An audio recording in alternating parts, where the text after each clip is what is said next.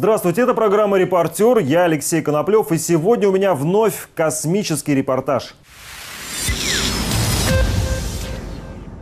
Самарские студенты разработали свою собственную ракету, но не как в Денискиных рассказах, не из картона строили. Этот аппарат словно настоящий. У ракеты есть двигатель, она взлетает и не менее успешно приземляется. Только космонавта туда не посадишь. Ее размер всего 2 метра. Зато своей ракетой самарские студенты покорили Европу. Они побывали на форуме во Франции и уже готовят новый проект. Репортер встретился с юными изобретателями. Александр Кветкин проводит в университете куда больше времени, чем его товарищи. И не потому, что пересдают хвосты. Александр все свободное время строит самолетики и ракеты, правда пока совсем маленькие. Кто-то в кружке авиамоделирования в детстве ходит, а вот он ради такого дела поступил в аэрокосмический университет. И теперь это не детская забава, а настоящая научная работа. Наша ракета как бы стоит немного отдельно, потому что она выделяется от других ракет. Другие ракеты выполнены по простой схеме, то есть, э, грубо говоря, цилиндрическая ракета, без боковых блоков с простой формой цилиндрической. Наша же ракета, как вы можете видеть, содержит э, боковые блоки,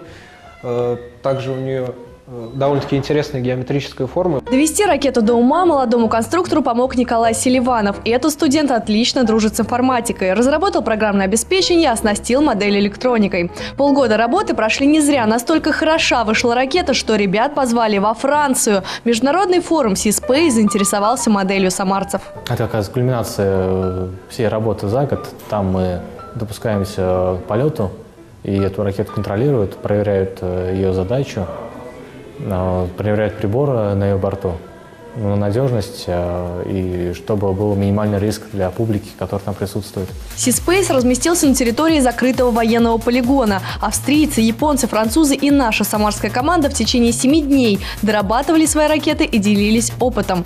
Главное событие для каждого – запуск. Для многих команд он закончился неудачно. Были, конечно, врезались в землю, не раскрывались парашюты. Основная проблема – это не раскрытие парашютов. Российская ракета «Союз-4» не подвела успешный старт, взлет на высоту 700 метров и не менее эффектное приземление.